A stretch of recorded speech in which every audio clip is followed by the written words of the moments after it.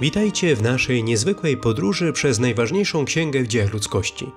Nazywam się ksiądz Przemysław Krakowczyk, a to jest 113 odcinek naszego codziennego podcastu Biblia w rok. Na początku naszego spotkania pomódlmy się słowami Psalmu 73, wersety od 21 do 28. Gdy się trapiło moje serce, a w nerkach odczuwałem ból dotkliwy, byłem nierozumny i nie pojmowałem. Byłem przed Tobą jak juczne zwierzę. Lecz ja zawsze będę z Tobą. Tyś ujął moją prawicę. Prowadzisz mnie według swego zamysłu i na koniec mnie przyjmiesz do chwały. Kogo oprócz Ciebie mam w niebie? Gdy jestem z Tobą, nie cieszy mnie ziemia.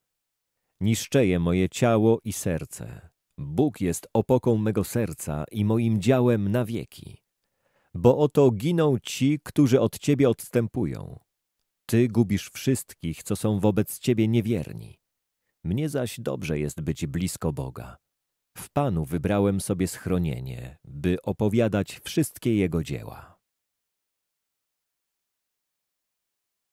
Rozdziały od 21 do 23 pierwszej księgi Samuela kontynuują opowieść o ucieczce Dawida przed królem Saulem, przedstawiając kolejne etapy jego życia na wygnaniu oraz pogłębiające się napięcie między Dawidem a Saulem. Dawid podniósłszy się, odszedł, a Jonatan powrócił do miasta. Dawid udał się do Nob, do kapłana Achimeleka. Achimelek wyszedł przelękniony na spotkanie Dawida i zapytał, czemu przybywasz sam bez żadnego towarzysza? Dawid odrzekł Achimelekowi, król polecił mi pewną sprawę, nakazując, niech nikt nie wie o tym, po co cię posyłam i co ci powierzam. Dlatego umówiłem się z młodymi ludźmi na oznaczone miejsce. A teraz, jeśli masz pod ręką pięć chlebów, podaruj mi je lub cokolwiek się znajdzie. Kapłan odrzekł Dawidowi: Zwykłego chleba pod ręką nie mam, jest tylko chleb święty. Czy jednak młodzieńcy powstrzymali się chociaż od współżycia z kobietą? Dawid odrzekł kapłanowi: Tak jest. Zabronione nam jest współżycie z kobietą jak zawsze, gdy wyruszam w drogę. Tak więc ciała tych młodzieńców są czyste, choć to wyprawa zwyczajna. Tym bardziej czyste są ich ciała dzisiaj.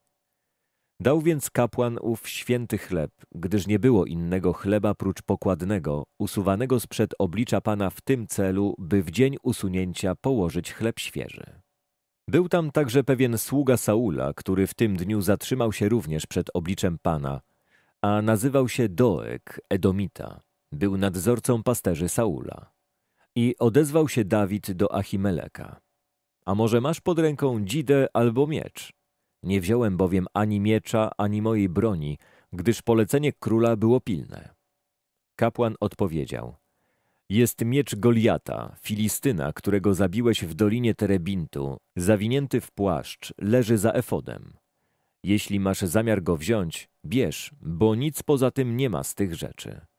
Dawid odrzekł: Nie ma od niego lepszego. Podaj mi go. Powstawszy więc, Dawid jeszcze tego dnia uciekł przed Saulem i udał się do Akisza, króla Gad.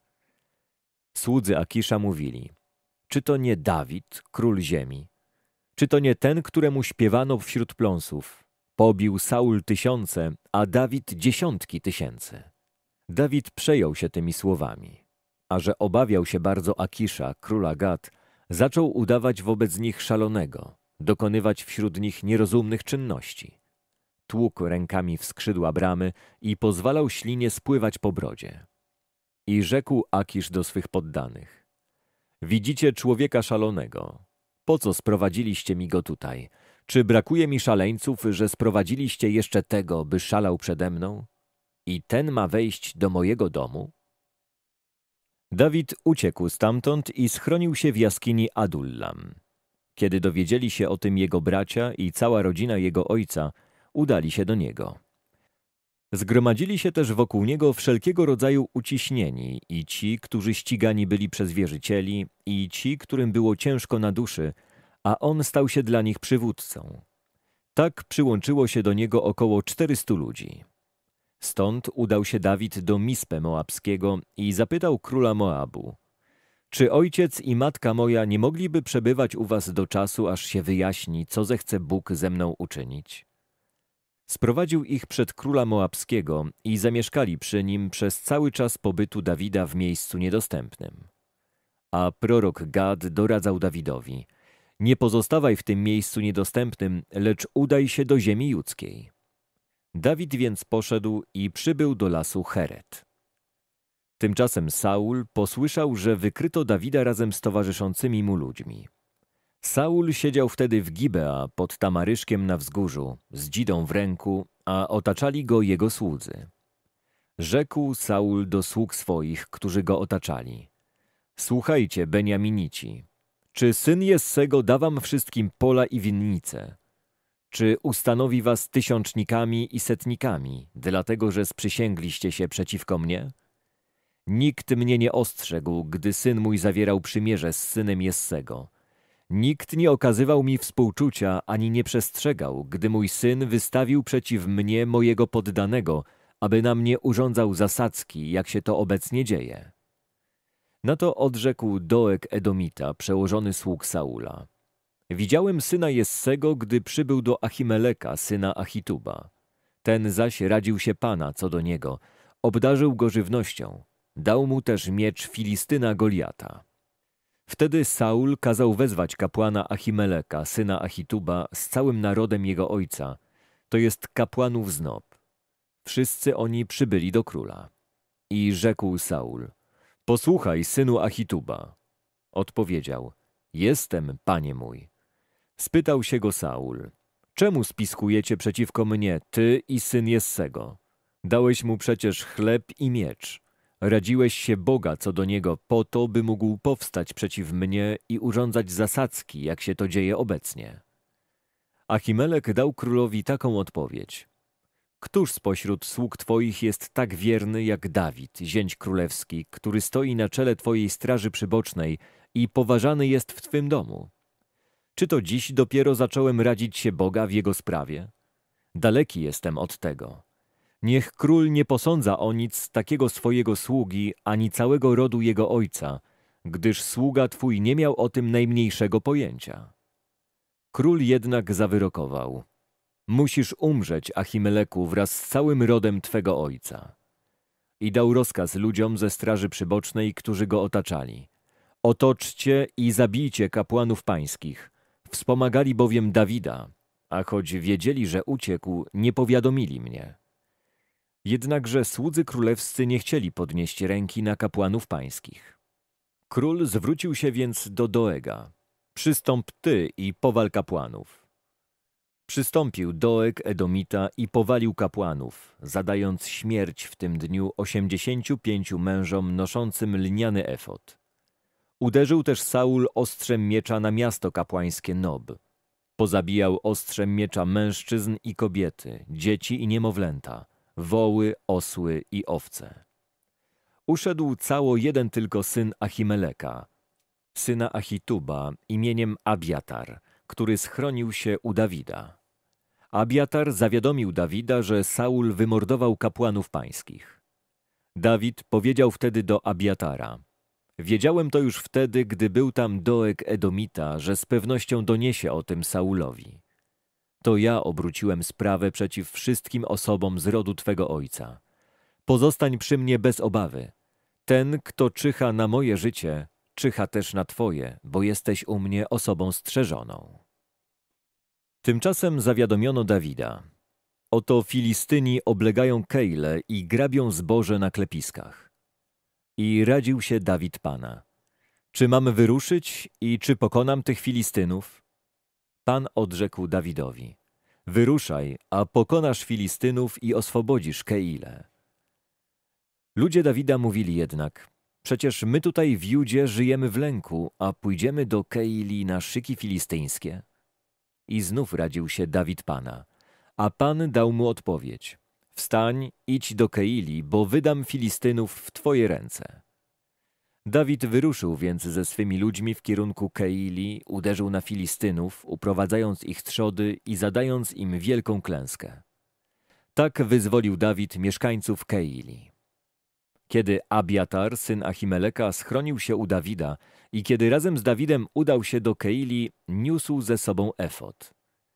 Tymczasem zawiadomiono Saula o tym, że Dawid przybył do Keili. I rzekł Saul, Bóg oddaje go w moje ręce, gdyż wchodząc do miasta mającego bramy i zamki, sam się zamknął.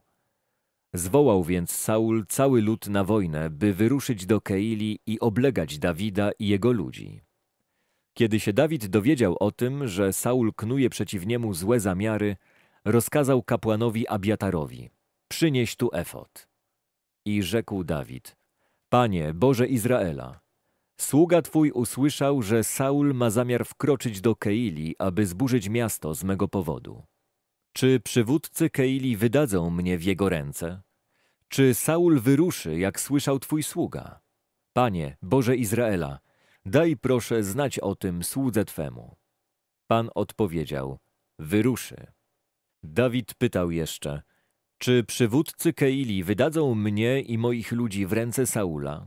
Pan odrzekł, wydadzą. Powstał więc Dawid wraz ze swoimi ludźmi, których było około sześciuset. Uszedł z Keili, krążył, licząc na los szczęścia. Kiedy doniesiono Saulowi, że Dawid uciekł z Keili, zaniechał wyprawy. Tymczasem Dawid przebywał na pustyni w miejscach niedostępnych.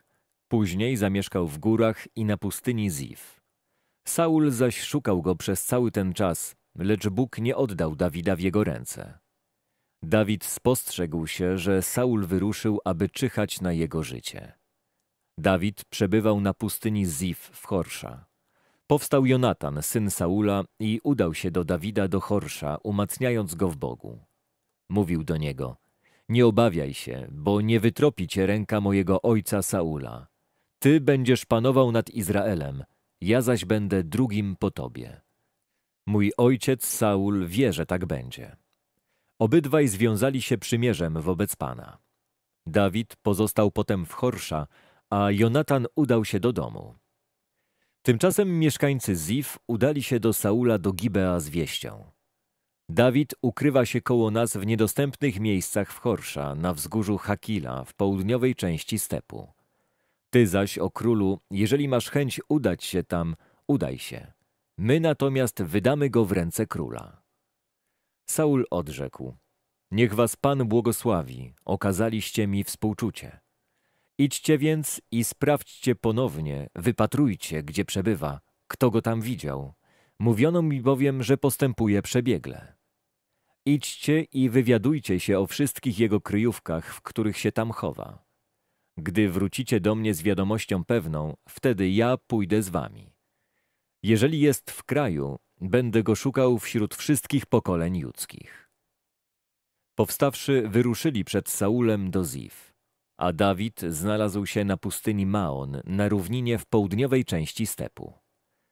Kiedy Saul wyruszył ze swoimi ludźmi, aby go szukać, dano znać o tym Dawidowi. Udał się więc w kierunku skalnej grani, która jest na pustyni Maon. Saul, dowiedziawszy się o tym, rozpoczął pościg za Dawidem na pustyni Maon. Gdy Saul przechodził po jednej stronie góry, Dawid ze swoimi ludźmi szedł po drugiej stronie. Dawid uciekał pośpiesznie przed Saulem, ten zaś wraz ze swymi ludźmi starał się otoczyć Dawida i jego towarzyszy, aby ich schwytać. Tymczasem przybiegł do Saula posłaniec, donosząc: Śpiesz się bardzo i przybywaj, bo Filistyni wdarli się do kraju. Saul zaprzestał pościgu za Dawidem i ruszył przeciw Filistynom. Dlatego tę miejscowość nazwano skałą rozłąki. Trzeci rozdział dziejów apostolskich relacjonuje cud uzdrowienia chromego mężczyznę przez świętego Piotra i świętego Jana oraz kazanie świętego Piotra, które następuje po tym wydarzeniu. Gdy Piotr i Jan wchodzili do świątyni na modlitwę o godzinie dziewiątej, wnoszono właśnie pewnego człowieka, chromego od urodzenia. Umieszczano go codziennie przy bramie świątyni zwanej Piękną, aby wchodzących do świątyni prosił o jałmużnę. Ten, zobaczywszy Piotra i Jana, gdy mieli wejść do świątyni, prosił ich o jałmużnę. Lecz Piotr, przypatrzywszy się mu wraz z Janem, powiedział: Spójrz na nas. A on patrzył na nich, oczekując od nich jałmużny. Nie mam srebra ani złota, powiedział Piotr, ale co mam, to ci daję. W imię Jezusa Chrystusa Nazarejczyka, chodź. I ująwszy go za prawą rękę, podniósł go. A on natychmiast odzyskał władzę w nogach i stopach. Zerwał się i stanął na nogach i chodził. I wszedł z nimi do świątyni, chodząc, skacząc i wielbiąc Boga. A cały lud zobaczył go chodzącego i chwalącego Boga. I rozpoznawali w nim tego człowieka, który siedział przy pięknej bramie świątyni, aby żebrać. I ogarnęło ich zdumienie i zachwyt z powodu tego, co go spotkało.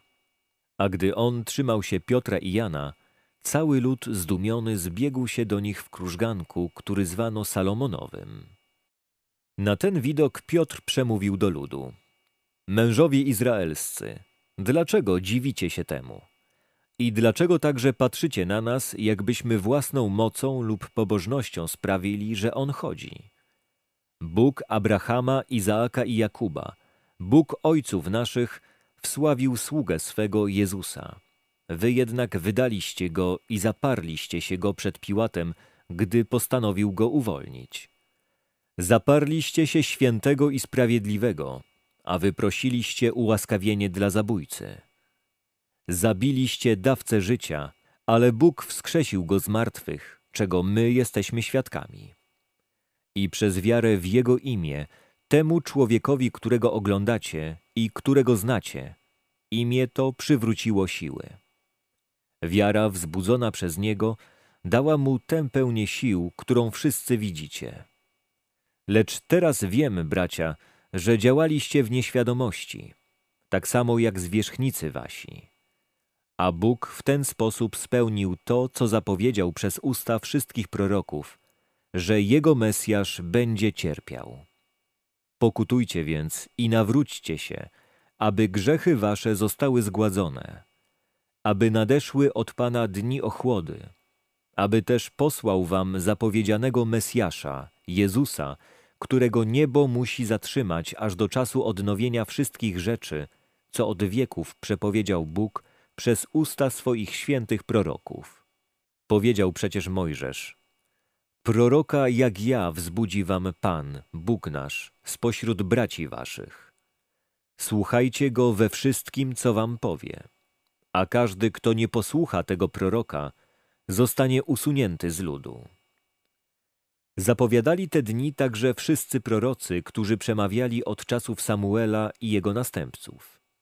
Wy jesteście synami proroków i przymierza, które Bóg zawarł z waszymi ojcami, kiedy rzekł do Abrahama: Błogosławione będą w potomstwie Twoim wszystkie narody ziemi. Dla was najpierw wskrzesił Bóg sługę swego i posłał go, aby błogosławił każdemu z was w odwracaniu się od grzechów. Dziękuję za uwagę i zapraszam na jutrzejszy odcinek podcastu Biblia w rok. Do usłyszenia.